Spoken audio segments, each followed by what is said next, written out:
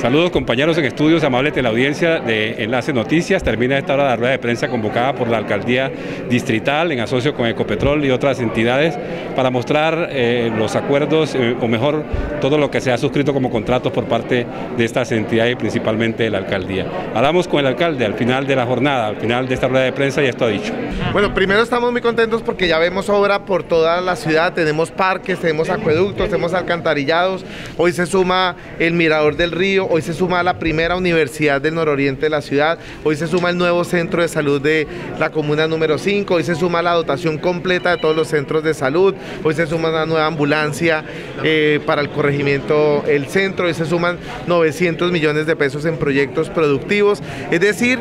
toda esta tarea que nos tocó durante la pandemia, durante los tiempos más difíciles, hoy da sus resultados. También dialogamos con la vocería oficial de Ecopetrol en esta rueda de prensa y esto ha manifestado sobre el apoyo que la estatal de petróleos le brinda a estas iniciativas, a estas obras.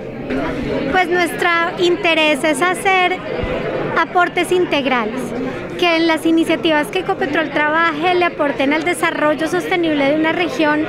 y precisamente siempre el distrito de Barranca Bermeja está en la prioridad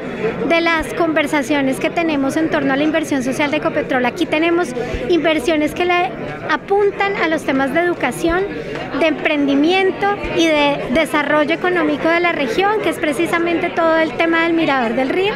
y por supuesto al tema productivo. También en esta rueda de prensa abordamos al secretario de Infraestructura, Oscar Contreras, para preguntarle sobre los contratos que se han suscrito en relación con esta rueda de prensa donde se ha presentado y que tienen que ver con el desarrollo vial de Barranca Bermeja.